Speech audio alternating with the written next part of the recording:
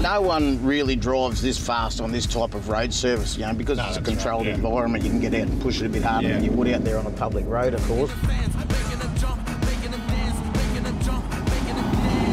Just following you. Yeah, How long's the van? 22 foot. So that's not including drawbar, so she's probably a bit longer than that.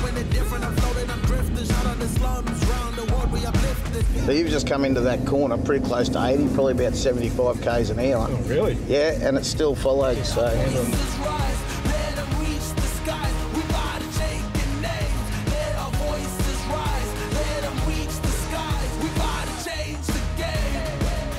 So, Handling nice. yep. And then pull him up near the start line. Well, the irony of that is, it's Sunday, Yeah. and you're just going on a Sunday drive. I wish I could drive like that every Sunday.